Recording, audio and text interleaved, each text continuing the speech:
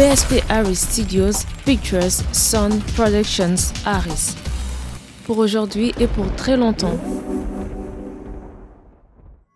EDES Ministries, Évangile du Salut Ministries, un organe d'évangélisation pour les salis des âmes en Jésus-Christ.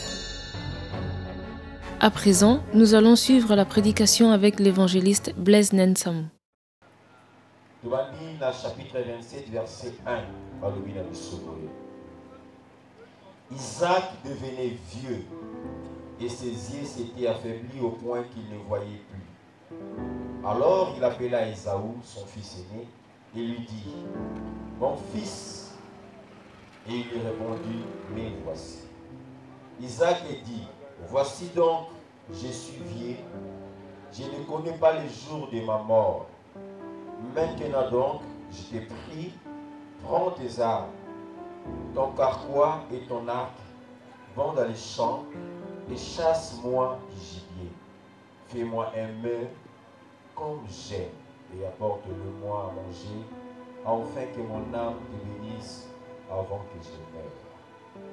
On sautait laquelle est verset 6. Puis Rebecca dit à Jacob, son fils, Voici, j'ai entendu ton père qui parlait ainsi à Esaou ton frère. Apporte-moi des gibier et fais-moi un mets que je mangerai. Et je te bénirai devant l'Éternel avant ma mort.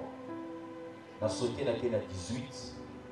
Il vint vers son père et dit, Mon père. Et Isaac dit, Mais voici. Qui es-tu, mon fils Jacob répondit à son père, Je suis Esaü, ton fils aîné.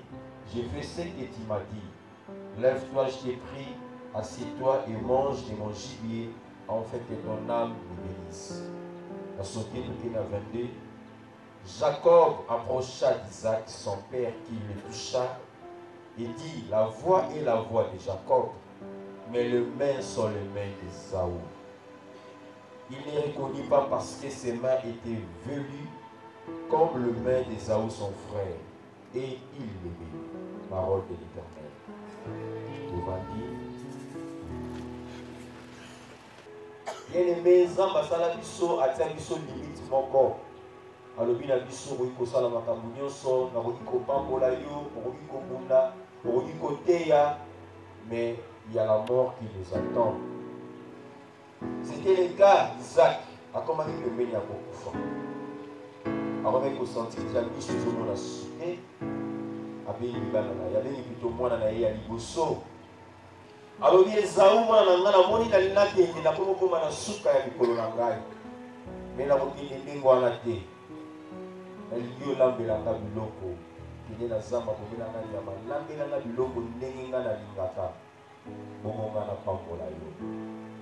Nzokande mama mpe esika azalaki mwa litoi molai, ayoki lisolo ya papa na mwana Isaac abotaki bana mibale. Mais pourquoi est-ce qu'il fallait abenga kaka mwana moko pe mwana mosusu atiki ye? N'est-ce pas que c'est injustice? Parce que soki esengelaki apambola bana na ye, il fallait apambola bana na ye nyonso mibale. Mais pourquoi est-ce que ye abengi moko atiki mosusu? Et pourtant, bayebaki yango malamu ke bango mibale baza ba nation bango mibale baza ba peuple s'il faudrait bénir il fallait bénir tout le peuple alléluia mais pourquoi est-ce qu'isaac devait faire la différence abenga nanu mwana liboso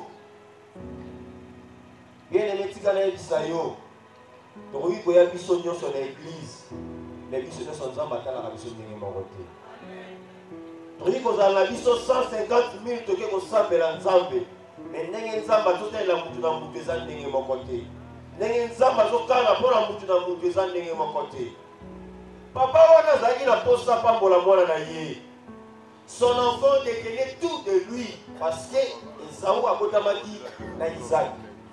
eloko nyonso Esaü akoki kozala nango eza ya Isaac. Mais pourquoi est-ce que Isaac devait obliger à Esaü avant napambola yo lambela ngai na biloko ndenge ngai nasepelaka nango yoka nyonso atie alobi lambelanga n'importe quel biloko te me lambelanga biloko ndenge nga nasepelaka nango soki na le nsima na pamboli isak aconditionne benediktio na ye ekomi ntango ya lipamboli basundoli mosusu babeli mosusu Et pourtant, baza bana papa moko. Mais heureusement pour Jacob, il y avait sa mère, Rebecca. biso nyonso toyeki na famille otalaka na droit de vete eza aîné ebike mwana liboso akonzaka sekaka papa akufi ya baloba ngai nde mokolo awa ngai nde mokonzi awa mais rebeka etanke ezalaki mama Ayebaki bilaka Nzambe alobaki na ye. Elle savait que la bénédiction n'était pas pour Esaü, mais la bénédiction était pour Jacob. Abengi mwana bebe na bina yoki papa na yo koloba alingi apambola yaya na yo. Etala conseil ngai nazopesa yo.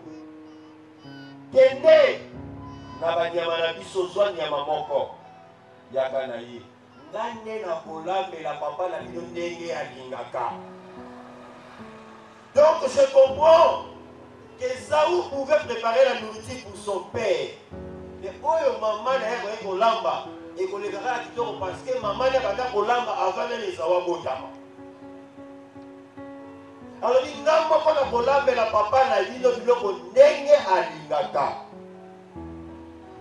donc jacob n'était pas capable ya kolambela papa na ye biloko ndenge alingaka jacob ayebaki te jacob n'était pas capable de préparer le mec que son père désirait mais esaou du moins était capable mais malgré capacité ya esaou la bible nous dit biloko oyo ekomaki liboso ezalaki biloko ya jacob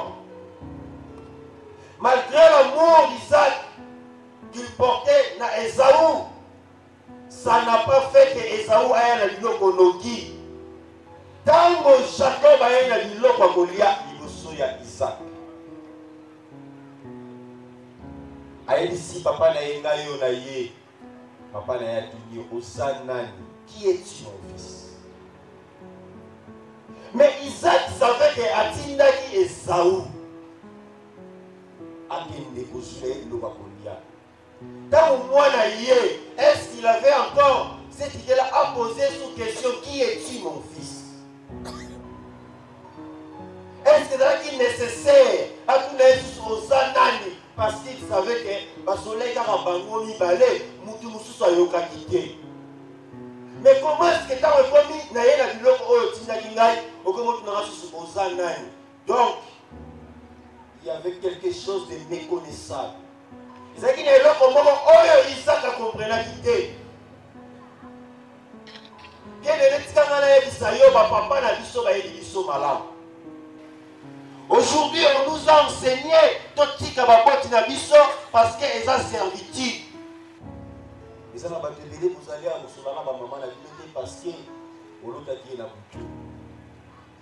Tika tika aza ndoki. Tika nga nayebisa yo ta benediction ekouta kaka na papa na yo mpe ekiti epai na yo parce que l'alliance d'Isaac ebandaki na Abraham.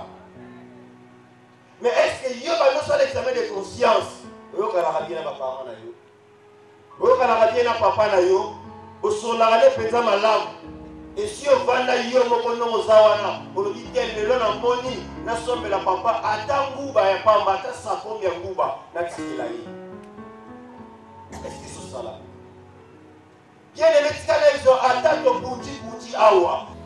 Ata nakomi moteyi, ata nakomi nani, ata nakomi président, ma bénédiction est liée à mon père. Parce que nauti na mapata te nakwei, il y a un papa oyo aboti ngai. Il y a une maman oyo aboti ngai. Mais aujourd'hui, bambrouye bacongolais, bambrouye biso bakinois, balongoli biso bolingo ya baparents.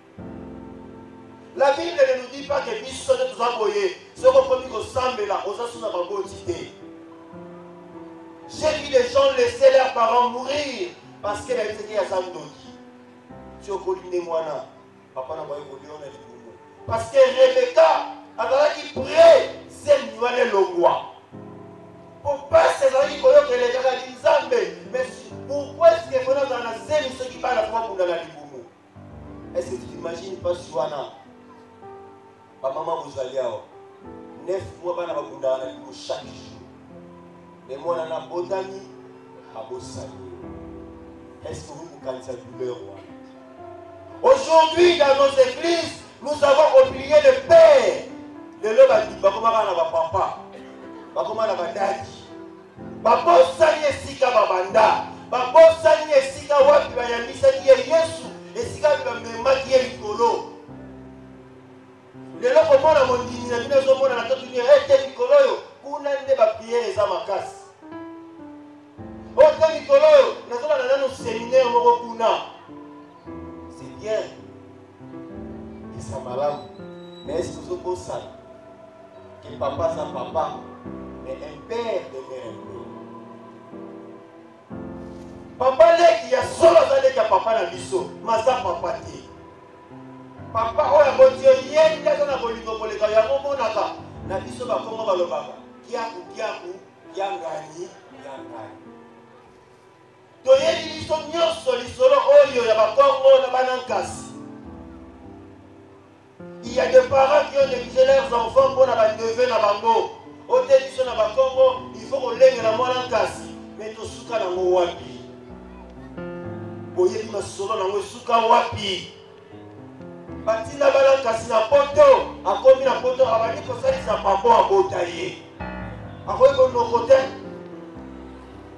obundaki mpenza osi bana ya ndeko na yo mwasi obokoli bango otalisi bango ya yo osundoli bango olobiki wana bana nkasi biso bakongo malamu lelo eza na bato ebele base retrouva na balabala babotona bango mambangu parceke papa ataki nkombo bana nkasi na buka lupango yango nazoya nazoyebisa motu moko moto aya kokosa yo te papa na yo aboti yo ye nde akolinga yo malamu banoko na bapapa leki bakoya nsima Parce que ntango basolaki na mama mpo babota yo, noko azalaki te, papa ndenge azalaki te, tata mwasi azalaki te. Bien-aimé, lelo na bakristo okotaka konfli ebele. Soki likambo abandi elingi oyo papa. Eza somo. Omoi wana moto mosusu abandaki kosalela na eglise na bango.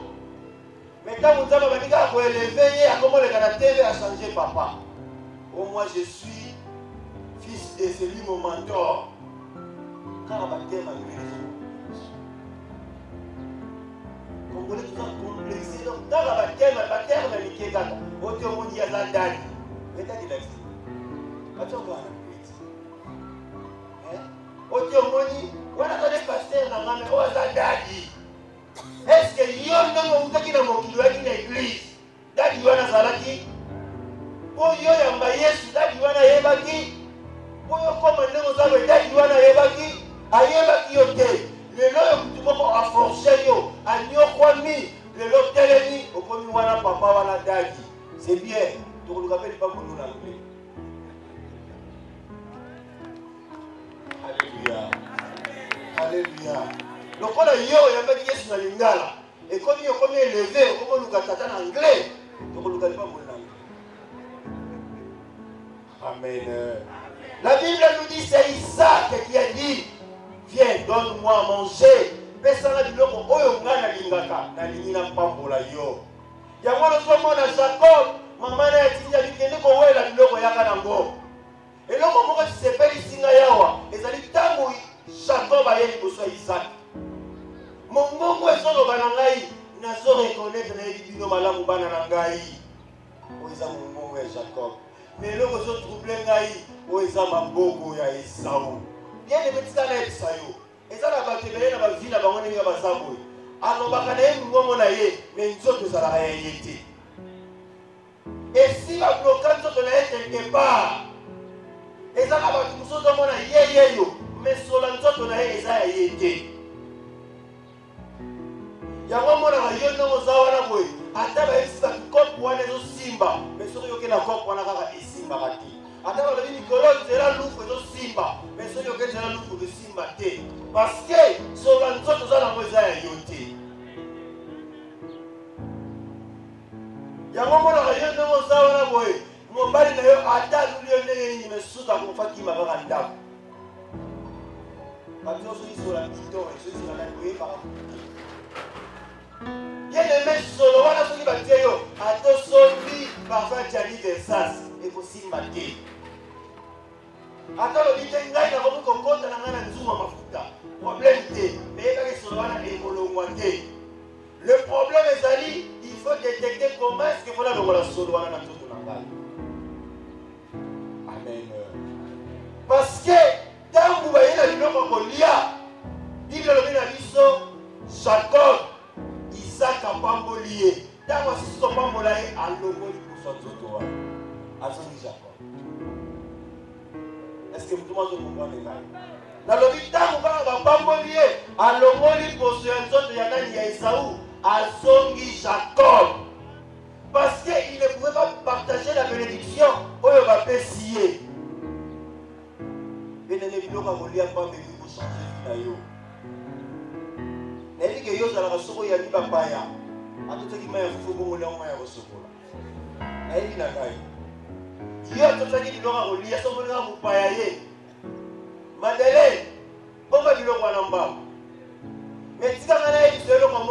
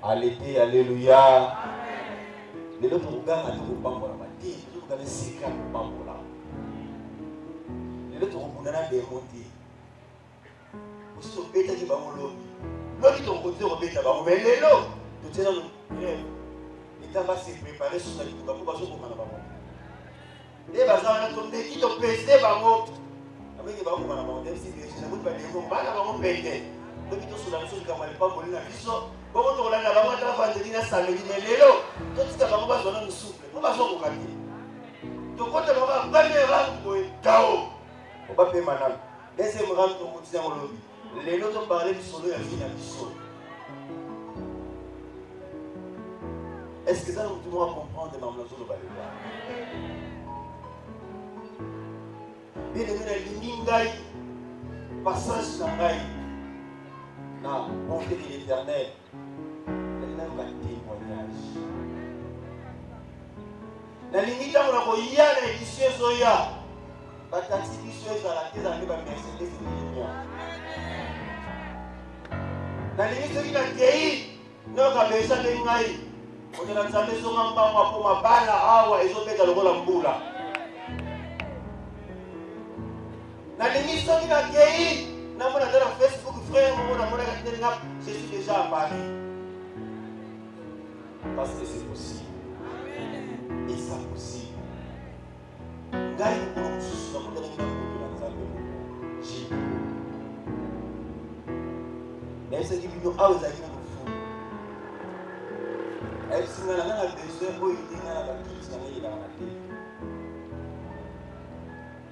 Naza na posa mbongo makasi koloba.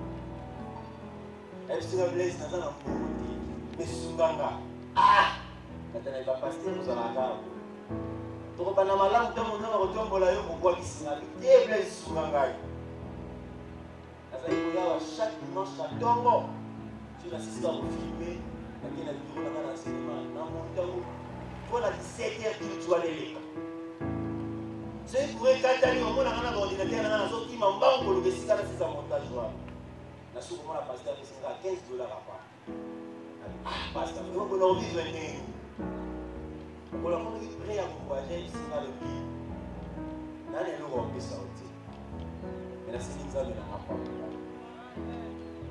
simple parole ata eloko ozalaki na mokili babelelika nzambe na nga pambola yo ndenge na nkei mokona kozonga na kutu okomi ndenge mosusu elelekala toluka bato baloba malamu mpona biso yango nalingi lelo mpona loba malamu mpona motu moko awa alobi nalingi nzambe na nga kaka pambola akenda na ye poto akenda ndenge akendaka wana kenda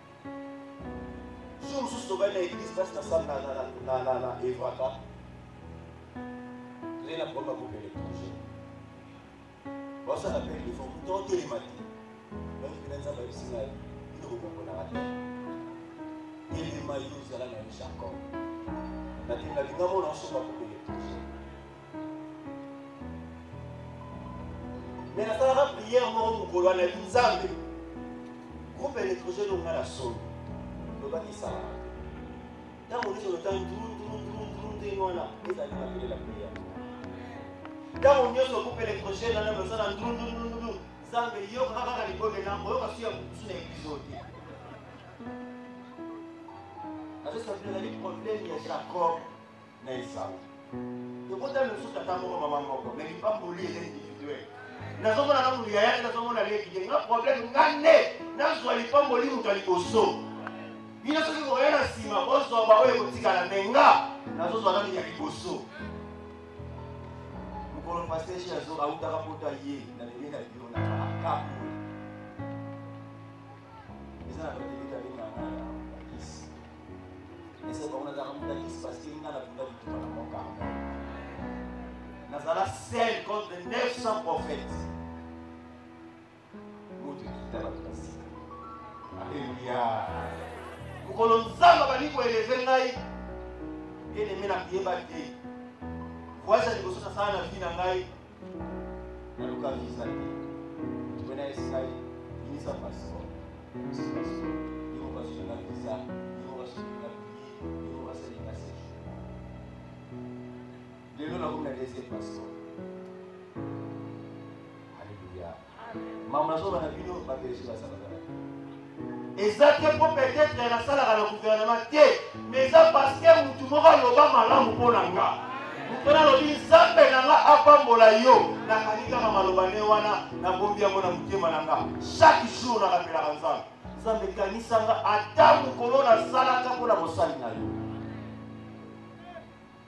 bien aimé si ovanda boye ndenge oza wana ndenge oza boye ovandi moto abenga na telefone oza wana ese papa naza place moko me motuka ekufi nga libo yaka na ndako lakini na ndako ya moto wana bisika apesaka jipe ya shekuki amoneka te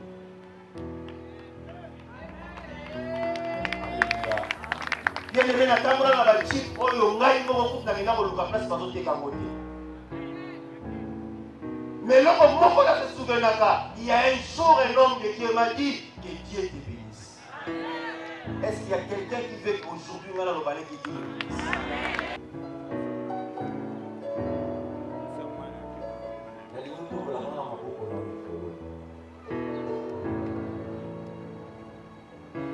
naliyokaka elongi na nga malamu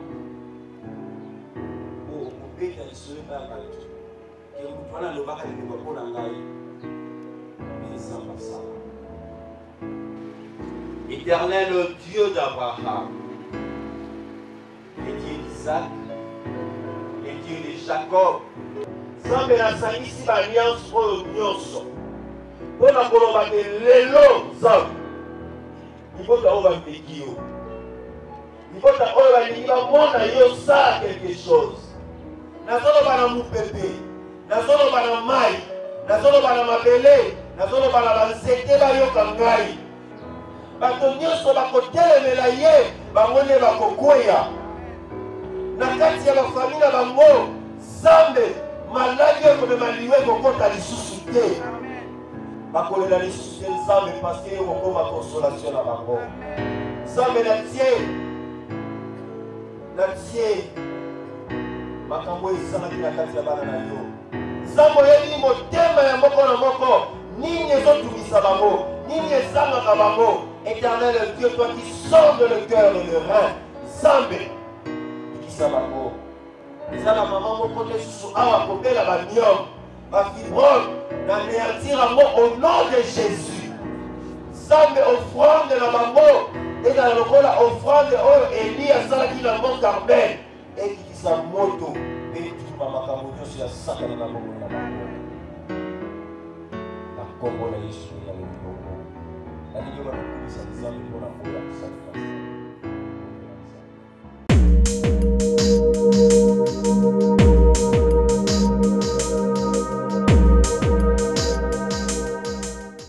Nous venons de suivre la prédication de l'EDS Ministries avec l'évangéliste Blaise Nensamu, une réalisation de PSP Harris Studio. Contactez-nous au plus 243 97 86 86 7 86 ou au plus 243 84 452 26 26. Écrivez-nous sur edesministries.tv@gmail.com. Soyez le premier à vous abonner sur notre chaîne YouTube edesministries.tv et n'oubliez pas d'aimer notre page Facebook Évangile D'Isali Ministries pour avoir le privilège de suivre en continuité nos activités. Que Dieu vous bénisse.